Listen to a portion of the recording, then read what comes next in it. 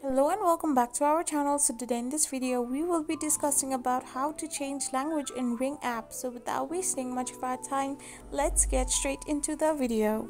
So to change language in the Ring app, all you need to do is simply tap open your Ring app and once you open your Ring app, you will end up in this kind of interface where all you need to do is simply tap on the hamburger like icon tap on the account settings and once you tap on the account settings you will end up in this interface where simply you need to scroll down below and see that there is no option for your changing of language. All you need to do is simply go in your home screen tap open your settings and then in the settings simply type in language in the search bar. So once you search in language all you got is this kind of interface where simply tap on the language and select any kind of language you want to set in your device.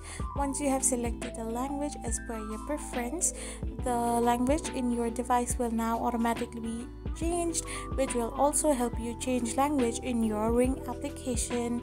I hope you found this video helpful so don't forget to hit that subscribe button and do give us a thumbs up. We will be back again with these informative videos. Thank you for watching